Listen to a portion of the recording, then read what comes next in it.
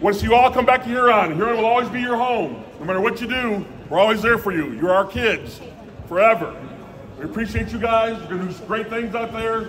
Like I said, we're all proud of you. Go Rats.